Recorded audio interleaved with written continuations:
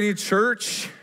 Good to be with you today. Uh, last weekend of 2020, which in some ways seems crazy. Like the year's gone really fast and really slow at the same time. And so uh, this is a, a kind of a staple for me in my 15 years here at Radiant. I've spoke many times on the last weekend of the year. It's uh, a holiday pastor tradition, but it is always a huge honor and privilege to be able to do that. And uh, as Pastor Zach said, I hope you had a blessed Christmas with your family and, and your friends and your loved ones. And um, we're, we're really are excited for what 2021 has to bring. And sometimes in these uh, times and in this particular service it's easy to look and say okay well let's let's just talk about 2021 and, and let's leave 2020 behind and, and move forward and of course there is something to that normally i would be up here talking about new year's resolutions which i've done uh, in the past i don't want to brag but last year i was like i'm going to lose 10 pounds and i only have like 17 more to go so i'm on a roll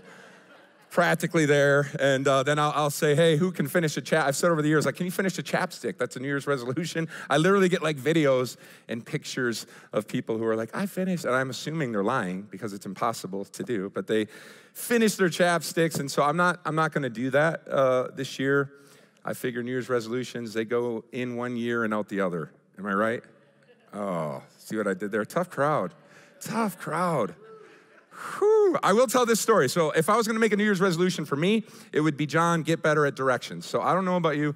I'm somewhat directionally challenged, but it's easier because we have phones and we have navigation and things. So, I just went on a week's trip to Florida with my family. It was amazing. We just got back. Uh, a, week or so ago. We went from Friday to Friday. We got there, our flight left at 6 a.m., so we were in Florida by 9 a.m. on a Friday, and then I milked that thing. Our flight didn't leave till like 6.13 p.m on Friday. So we check out. I'm like, let's go to the pool. It's like 64 degrees, but who cares? It's sunny. Uh, and we had plenty of time, right, to get to the airport. Let's go. Let's go grab Chick fil A on the way. So we're all piling into my, I don't want to brag again, but my Infiniti QX80 that I got upgraded to instead of a minivan. So I only paid for a minivan, but the, yeah, thank you. Uh, and then I told my family, hey, you know, nothing's too good for you guys, honestly, you know. I upgraded, even though I didn't pay a dime. Uh, and so we dropped the car off. We got all our stuff. We're like an hour and a half early. It's, it's 20 after four or something like that. We go into the airport, and I'm not seeing any signs for like Allegiant Air at all. No, no way of determining that they even exist at this point. So I'm a little concerned. And I go to the help desk, and she's like, Yeah, they don't fly here. I'm like, Well, what does that mean? apparently, there, you know, like again, I put the airport into my phone, we're good. And, and apparently, there's an Orlando International Airport and there's an Orlando Sanford Airport. And I needed to be in Sanford, and I was not in Sanford. So I had to tell Kendra, my beautiful wife, like, uh, we're at the wrong airport. And that went well. And so, I'm like, we can make it. Like, I'm a seven on the Enneagram. I'm an optimist. We're go. Let's go. Let's run right now. All the kids, like, boom. But she's like, we already turned in the car. I'm like, I know. I will tell them. And so I go, and they're like, yeah, we already processed it, but here we can get you a minivan, and we'll only charge you taxes and something like that. So we we're in the car and in the minivan, and I'm of course going 70 miles an hour flat, no speeding whatsoever. I'm kidding. I'm going like 110 in that thing. I'm like, we're gonna make it. And Kendra's like, we're never gonna make it. I'm like, quiet woman. And faith is rising despite the environment that I'm in. And we're gonna make it. We're gonna make it. Kids, start praying.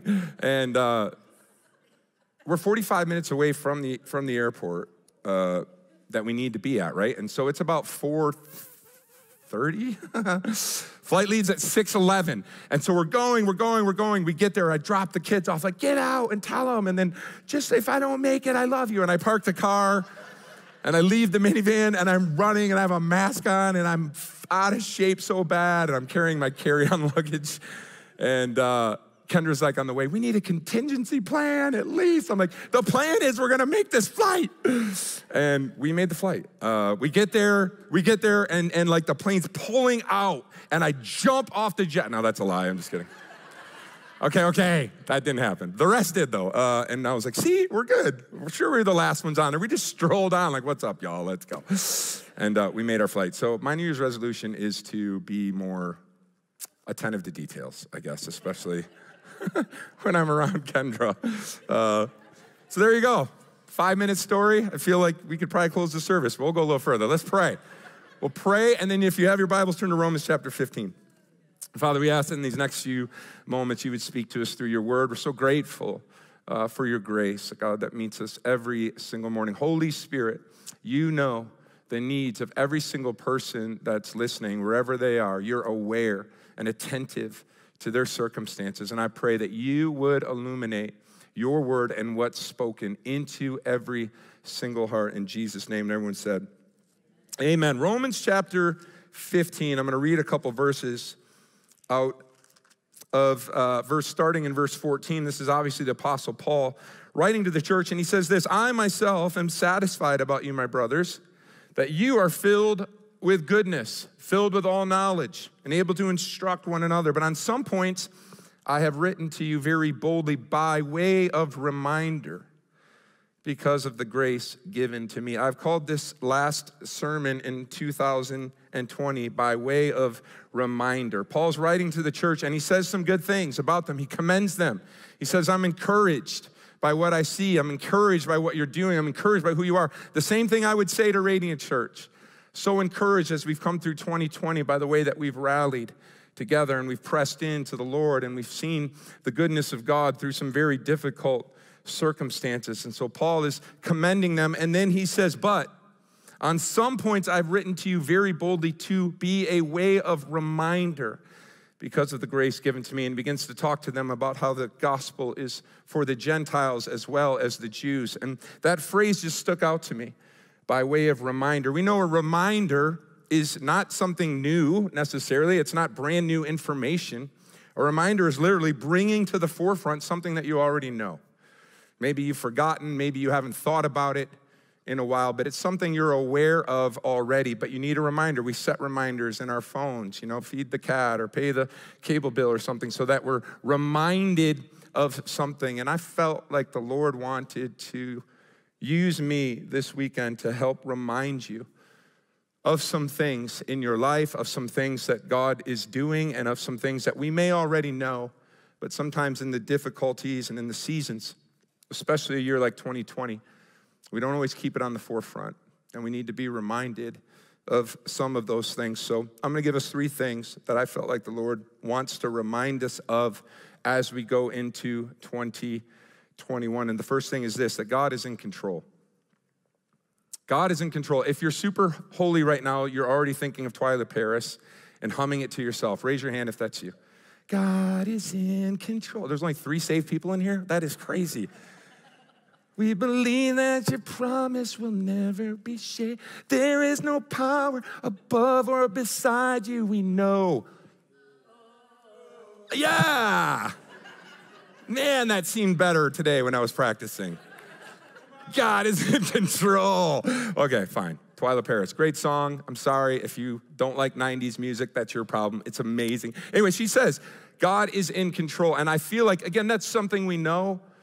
That's something we're aware of. It might even sound like kind of like Christian jargon or, or pastor talk. God's in control. But I believe to the core of my being that it is a reminder that we need to have as followers of God, that He is still on the throne, He is still reigning and ruling. The circumstances we see around us are not an indicator that God's detached, that God is unaware, or that God is incapable of controlling what happens. God is not up in heaven wringing His holy hands. He's not nervous. He's not putting fingers in the Jesus, give me a hand over here. It's falling apart. He's in control. Listen to Psalm chapter 2. It says, Why do the nations rage and the people plot in vain? The kings of the earth rise up, the rulers band together against the Lord and against his anointed, and they say, Let us break their chains, throw off their shackles. The one enthroned in heaven laughs. The Lord scoffs. He holds them in derision. He holds them in contempt. He's in the heavenly places and he is still in control. And I just want us to be aware that no matter what happens around us, no matter what happens in, a year like 2020, it is still incumbent upon us as believers to not be shaken, to not look to circumstances, to not have a, a, mindset where we become apathetic or fearful or bury our heads in the sand. We have to remember that God is in control. Let me just give you a quick rundown of 2020, and this is just kind of from memory. It's not like I did a search, but most of you will remember these things that happened. I remember in January there was the Australian bushfires that took place, like unprecedented damage in the continent of Australia. Fires galore. I'm watching the Australian Open, and that's a big deal. Then, on the cusp of that, the Me Too movement is launched. Remember that. It exposed some of the sexual brokenness in our culture. And I remember Hollywood was kind of pointing the finger, if you will, at the Catholic Church and some of the abuses that happened there. And then all of a sudden, Hollywood realizes, wow, there's some Harvey Weinsteins in our midst, and maybe our hands aren't as clean as we thought. And then people are coming forward and talking about situations at work and situations that they've gone through. And all of this is, is being exposed in this moment. Then we see business leaders and, and even religious leaders that are falling morally, and there's this pain that's unearthed through this movement. And then, literally, on the heels of that, that's like February, March, a pandemic of unprecedented proportions. We hear the words COVID 19 for the first time, social distancing becomes a thing. Stay home orders, lockdowns, no toilet paper, no bread, no food, no, I mean, it's just this crazy dynamic that no one's ever seen or been a part of. And then in the midst of that, maybe the worst stain on our nation's history once again raises its ugly head through racial injustice. And we have the George Floyd killing and we have the protests and we have the riots and we have the all of the tension and pain that goes along with that. In exasperated by this pandemic we find ourselves in and we're all watching the and we're all just what is going on? And then we step into a political season that's heated to say the least. Massive divide in our country red and blue right and left and that's not even mentioning some of the other things that didn't make as much news murder hornets and impeachments, right? The deaths of Kobe Bryant and Ruth Bader Ginsburg and Alex Trebek. I mean, just a crazy year. And it's sometimes a temptation to look at it and to think things can't get much worse what's really happening. Let's just hunker down and, and, and say Maranatha and wait for the Lord to come. And, and, and because this is as bad as it's going to get. And I'm here to tell you, this isn't as bad as it's going to get. I'm here to tell you that in our lowest moments, in our seasons and times where we think it's the worst, we think we're the weakest, we think nothing's happening, those are the times that God is moving the strongest. And God is moving in those valleys and He is making beauty from ashes. And I'm telling you that that is what I believe America is positioned for. I have hope for America right now in the name of Jesus. I have hope that God is going to move as he has in the past. There are people who will say, look, the church, the church is, let's, let's just be honest, it's in decline. Its best days are behind it. It used to maybe have, you know, I don't know, way back, name a year, way back when we, we had some momentum, but now let's, we're losing our influence, we're losing our buildings, we're becoming clubs and condos, and, and the church just isn't what it used to be, and, and it's in this like steady decline. Let me tell you, you look at history, both in the Bible and, and in the world, there's never been a moment where the church has been in steady decline. That's not how it works. What you do see is almost like a wheel turning, and these different seasons of the church's history that are being exposed through time and space. So, what generally happens is there's a relationship with God, God's people have fellowship with Him, and they're in community with Him, and then there's an apathy, there's something that takes place. We begin to be pulled away in other directions. And then from there, there begins to be an unraveling of culture, an unraveling of people. The morals begin to decay in a people group, and then that leads to a time of dark degradation and shame among people. That's what you see in Scripture. That's what you see in the book of Judges. It's not this like gradual thing, it's like a wheel that turns, but always in those moments, always there is a remnant. There is a people who begin to pray and begin to seek God and begin to say, Have mercy on us. And God from heaven reaches down and He brings His presence and He brings His goodness, and seeds of revival are sown in the darkest moments. And I'm telling you, that's what we need to believe about 2020 is that God is working and God is moving, and it's in those valley seasons that God does what only God can do when our our eyes are taken off ourselves, taken off our own resources and our own solutions, and we say, God, you're all we have, but you're all we need. It's not just in the Bible. You look at, and I'll just be very brief, but you look in the 1800s, it's not that long ago. The Industrial Revolution that happened in Britain. Cities were populated, middle class was formed. All of a sudden, there's all this, this wealth that had never been seen before, and it, it looked like it was good, but it was all made on the backs of the poor and the backs of children. So, children were literally pulled from homes, pulled from churches, and used in, in, in labor camps and used to create things for people to consume. And the moral unraveling of the nation of Great Britain began to take place in Europe, and it got very dark. But God's people began to cry out. They began to say, Lord, have mercy on us, save our nation. Men like John Wesley, the founder of the Methodist Church, stood up and he preached repentance and he preached turning back to God. And people weren't like, Yeah, preach it, John. They threw bricks at him, they threw dead cats at him. It's a true story.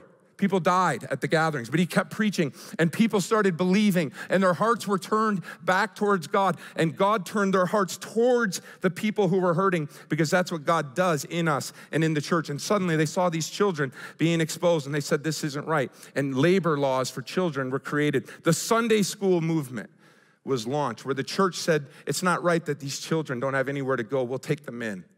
We'll teach them to read, we'll teach them to write, and we'll teach them that there's a God who knows them and loves them.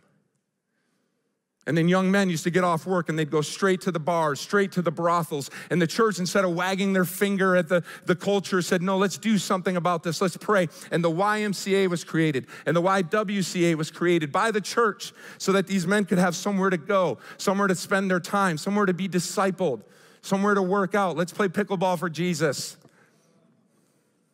Literally, the church moved, and the crown jewel in this movement was there began to be prison reform. The way that the mental people with mental health issues was were, were treated was changed. And then a man named William Wilberforce, who was part of the Britain's parliament, he was in government.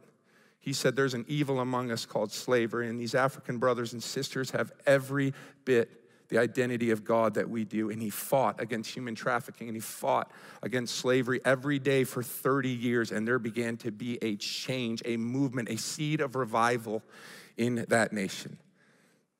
And Second Chronicles 7:14 says, "If my people who are called by my name will humble themselves and pray and seek my face and turn from their wicked ways, I will hear from heaven, I will forgive their sins, and I will heal their land." And the exact same God of Second Chronicles 7:14 is standing in the gap in 2020 saying, "If my people will pray and seek my face, I will hear." And revival can happen in the United States of America if we believe that God is on the throne. Amen. Amen. All right, we're good. We're good. God is on the throne. Don't, don't be that person who's always negative, who's always looking at what's going on and what's wrong. No, we can't do that as believers. We can't sit in church and sing songs like, I will put my trust in you alone, and I will not be shaken. Oh, God, look who's president. We're doomed. Like, we can't do that. We can't sit in, in, in, in, our chairs and sing the songs and not believe it. We either believe Psalm 46 or we don't. Let me just read it to you. Just listen to this, and I'll, I'll get off this point. It says, Our God is a refuge and strength, an ever present help in times of trouble. Therefore, we will not fear. Though the earth gives way and the mountains fall into the heart of the sea, though its waters roar and foam and the mountains quake with their surging, there is a river whose streams make glad the city of God. The holy place where the Most High dwells. God is within her. She will not fall. God will help her at break of day. Nations are in uproar. Kingdoms fall. He lifts his voice. The earth melts. The Lord Almighty is with us. The God of Jacob is our fortress. Listen, come and see, they said, what the Lord has done. The desolations he has brought on the earth. He makes wars cease to the ends of the earth. He breaks the bow, he shatters the spear, he burns the shields with fire. He says, Be still and know that I am God. I will be exalted among the nations. I will be exalted in the earth. The Lord Almighty is with us. The God of Jacob is our fortress. God is in control. Second thing I want to remind us of is this, and I'll be very brief. The words that we speak are powerful. The words you speak are powerful. And I feel like, again, we need to be reminded. Hopefully, we know this. But every time that we voice something, say something, or speak something, we're literally directing and creating our futures and, and what we want to see happen around us. But many times we don't put the value or the power on our words that we need to as Christians. Sometimes it's funny when kids say words wrong. I was thinking about it, and I remember, I can't remember which daughter of mine, but when she would say the alphabet, she would say A, B, C, D, E, F, G, H, I, J, K, and then I swear she said armadillo P. Um, and I was just like, that's amazing. You can learn the alphabet any way you want. And then Eric, just recently, I have it on video, was saying we have these Zondervan family like values that we say uh, each week to each other. And so his was uh, that we're generous. And so it's 2 Corinthians 9, 7. God loves a cheerful giver. Simple verse to memorize. So he's got, you know, he's doing this thing. We are generous people. We are generous with our time, our talents, and our treasure. Second Kardashian 9, 7. And I was like, oh, dear God, no, you're going to get me fired. Please tell me that's not a translation. And Kendra and I are trying not to laugh as he's, and, and it's funny, but I'm telling you, our words are powerful. Our words have weight and depth, and they are a reflection of what's in our heart and what is happening around, what we want to see happen. Proverbs 18, verse 21, write this down. Death and life are in the power of the tongue, and those who love it will eat its fruit. Listen to the message translation. It's simple words kill, words give life. They're either poison or they're fruit. You choose. Your words are not neutral. Your words are not by accident. What you're saying and what you're speaking are literally framing the direction you want your life to go. And I'm, I'm not talking about, hey, we should be nice and we shouldn't call each other names or we shouldn't say a swear word. I don't, that's great. I'm, I'm for all that. I'm a words of affirmation guy. It's my love language. I tell Kendra, you don't have to buy me things, just tell me how great I am and we'll be fine, right? That's, I'm for all of that. But what I'm saying more than just, oh, try to be nice to people and, and try to just, you know, keep, keep your language clean. More than that, I'm saying, what are you prophesying? What are you speaking into your future, into your family, and into the world around us for what God wants to do? Two things I want to remind you of. First is that your words create. Your words literally create. Genesis 1 3 says this God said, spoke, let there be light. And there was light. We are made in the image of God. If God's words are powerful, our words are powerful and they create. They create life or they create death. They create good things or they create bad things. And I know sometimes this whole kind of like what we say has gotten wrapped up in the name it, claim it, and and you know, I want a Porsche and I want a pony. And that's I'm not I'm not talking about that. It's unfortunate that that's kind of been hijacked in some maybe charismatic realms, but I cannot overstress to us as Christians that just like God spoke order into chaos, God spoke light into darkness. As we step into 2021, we must. This is not a time for careless words. This is not a time for us to be flippant with what we say. We must speak life into chaos, order into chaos, and light into darkness with our words. We're creating with our words. There's tons of scriptures I could give you. Read all of James chapter 3, Job 22 talks about you declare a thing, it will be established for you. I said Proverbs 18, but look, listen to Luke chapter 6. This is Jesus. He says, For no good tree bears bad fruit, nor again does a bad tree bear good fruit, for each tree is known by its own fruit. Figs are gathered from thorn bushes, nor are not gathered from thorn bushes, nor are grapes picked from a bramble bush. Listen to verse 45. The good person out of the good treasure of his heart produces good, and the evil person out of the evil treasure produces evil. For out of the abundance of the heart, the mouth speaks. That's the second thing. Your words create, your words are an overflow of what's in your heart. So the words that you're saying are a direct reflection of what's already in your heart. And so, if the words you speak are not life, if they're always negative, if it's always, my marriage will never get better, I'll always be broke, my kids aren't going, if that's what you're saying, I'm just telling you that's what's in your heart. So, more than trying to guard what we say, Proverbs 4:23 says, guard your heart with all diligence for out of it flow the issues of your life. What are you putting into your heart? Sometimes we want to get the, the low hanging fruit, like, oh, I shouldn't have said that. Oh, I shouldn't. Uh, it's no, what's, what's coming out is what's going in. It's a process. And so in 2021, let me just say it as plainly as I can let God's word enter your heart in a way that it hasn't before. Let the word of God be the mainstay of what you feed on and what you focus on. Because if what's coming out of your mouth isn't lining up with God's word, it's because that's what's not going in your heart. And we live in a day where it's so easy to let what goes into our hearts be the 24 hour news cycle. You know that before 1980, there was no news cycle? It was five o'clock news, six o'clock news, that's it. Then CNN launched in 1980. And since that time, there are like 300 24 hour news channels and we stand in front of that and we just let it scroll, or it's social media, or it's all of these things that aren't necessarily bad, but they can't be the mainstay of what goes in your heart because that's what's gonna come out of your mouth. Out of the abundance of the heart, the mouth speaks. So put God's word into your mouth, put God's word into your heart, and it will come out of your mouth. You remember when Satan tempted Jesus? Every time his response was, It is written. This is what the Bible, this is what it says. Man shall not live by bread alone. You shall not tempt the Lord your God. He didn't lean on his own intellect, he didn't lean on his, his own identity as I'm the Son of God. He spoke the truth of God's word because that's what was in his heart. And I'm telling you, as you enter this next year, feed on God's word, feed on God's faithfulness. I want to read to you again. I'm going to let you into my morning call it rituals. I'm just going to read these. These are things that I say. In the morning, I have my kids saying them now. They're all based out of God's word. And you can think that's so weird.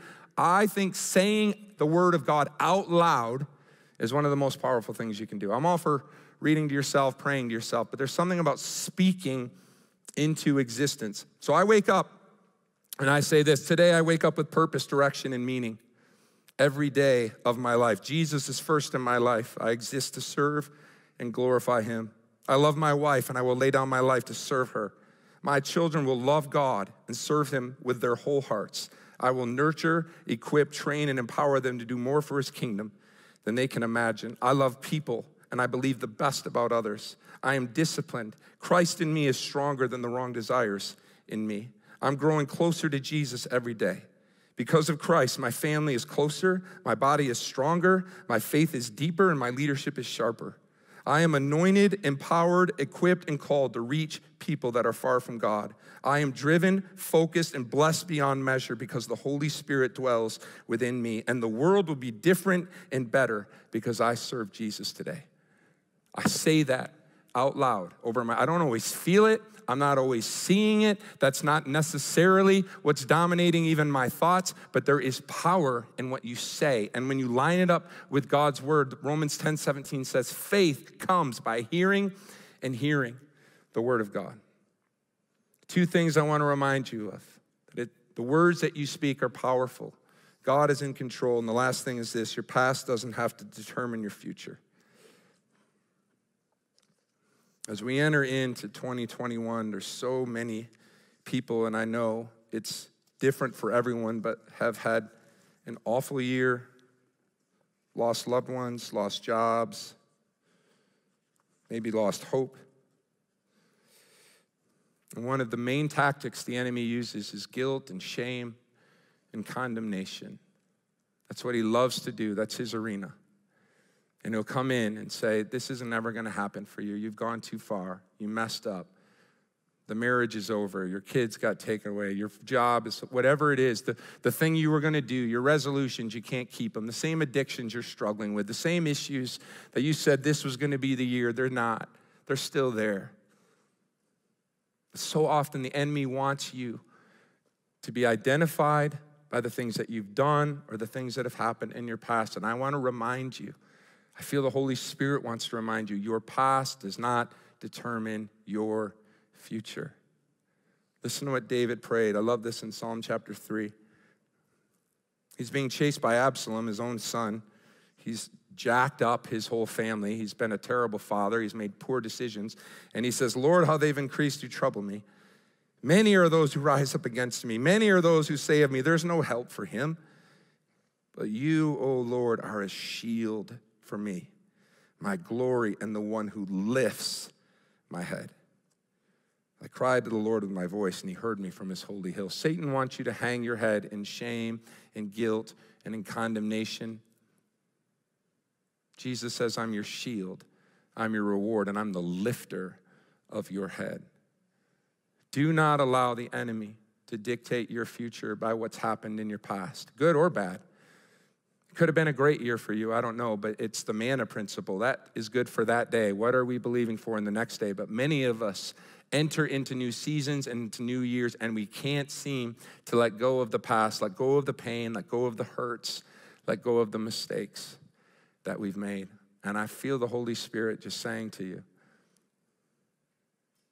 I'm not remembering your wrongs. I'm not identifying by what you you by what you've done, but by who you are. You're a child of the King. I love you. I'm for you. Romans 8 says, Nothing, not your sin, not demons in hell, nothing can separate you from the love of God that's in Christ Jesus. That's what God wants you to hear.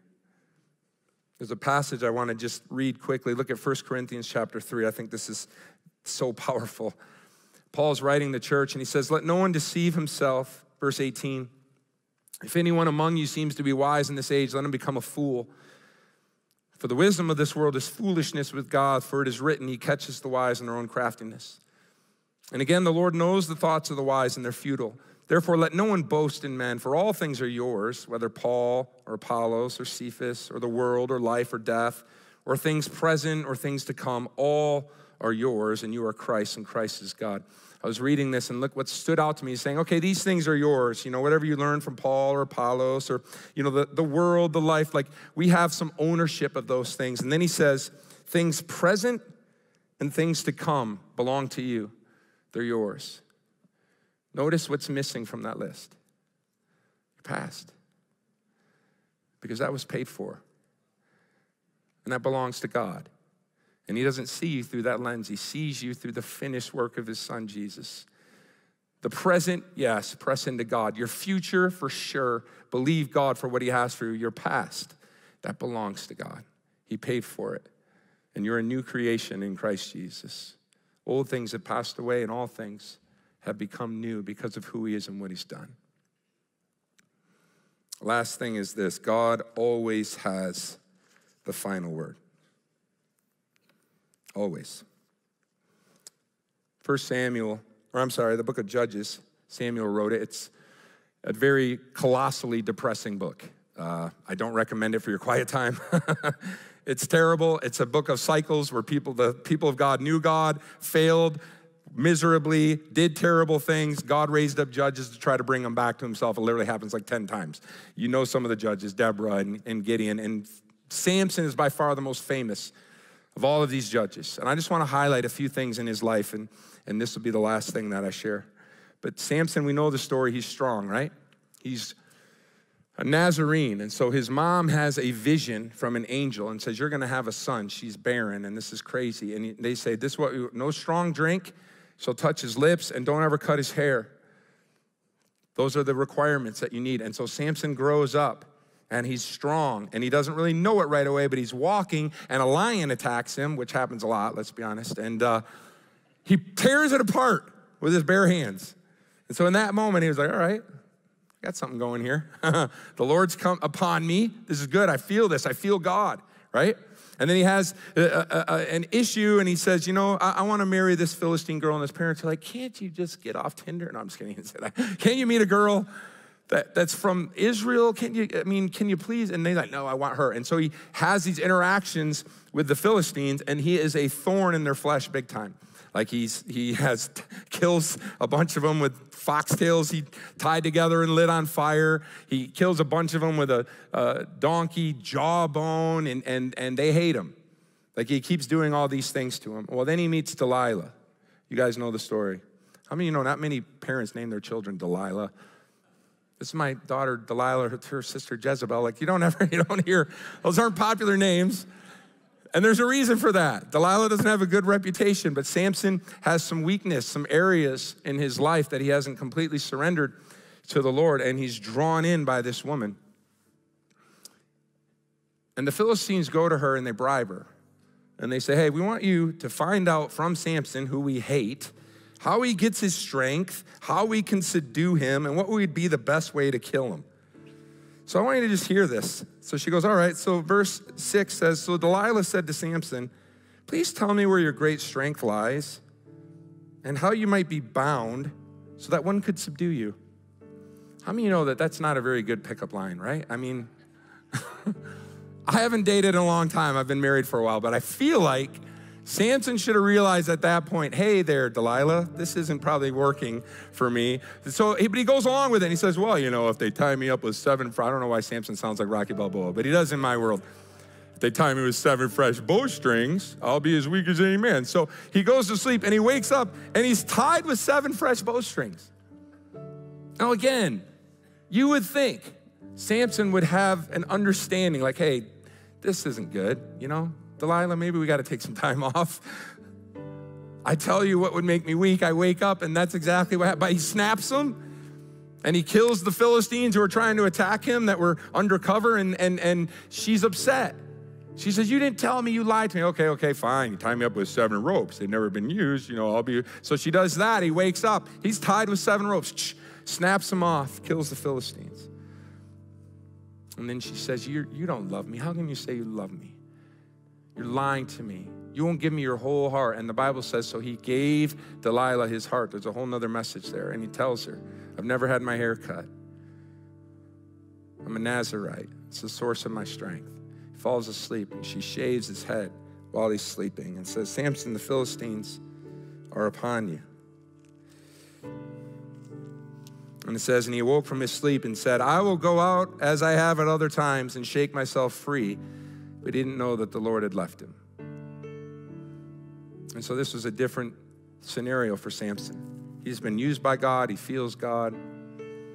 He knows there's a call of God on his life, but he hasn't done the things that he needs to do. He hasn't, maybe he's been as serious about it. He's had some pitfalls and some moral failures in his life. And look at verse 21 of Judges 16. I think they have it on the screen. It says, And the Philistines this time seized him, gouged out his eyes, brought him down to Gaza and bound him with bronze shackles. And he ground at the mill in the prison. So they literally gouge his eyes out. He's blind. They put him on a mill and he just walks around grinding. This is his life in shackles and in chains.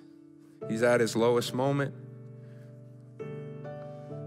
He's got to be reminiscing about, man, why did I make those mistakes? Why did I do those things? Why wasn't I this? Why did I do that? And look at verse 22. I'm telling you the truth. I read this every single year at the end of the year, this story. Verse 22. But the hair of Samson's head began to grow again after it had been shaved. The source of his strength began to grow again.